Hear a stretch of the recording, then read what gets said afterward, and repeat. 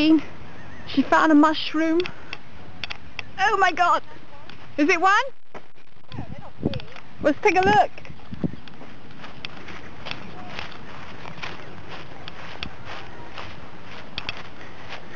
I thought big. One there. That's quite huge. Yeah. Oh, there's even bigger than that. There's another one over there. What do you want me to do? It's on already. Okay. Here's Annie picking mushrooms. this is for our lunch. Is it? There's another one over there. I want to find the ones that look like maracas. Would you Oh, well, you can't always get those because, okay, we'll see. There's two. Two Great. mushrooms. Yay! All right.